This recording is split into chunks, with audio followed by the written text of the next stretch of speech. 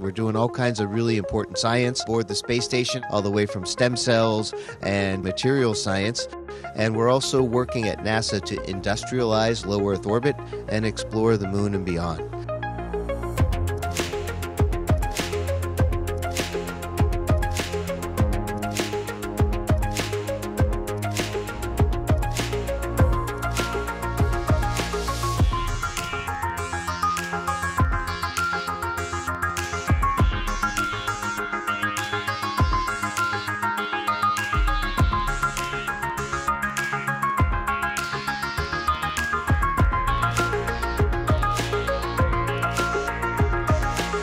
The ISS is 250 miles above the Earth. The moon is a thousand times farther than that.